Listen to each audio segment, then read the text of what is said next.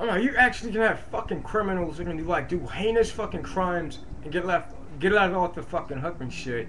But like somebody like me using common sense or, or literacy or knowledge or, or my intelligence or some crap. I, no, apparently I'm fucking doing something illegal, right? Like like I'm a fucking criminal suspect for wondering why something that looks completely fucking horrible is capable of fucking occurring or some shit. You know, like what the fuck? I don't know. I'm lost. Yeah, I, I don't know.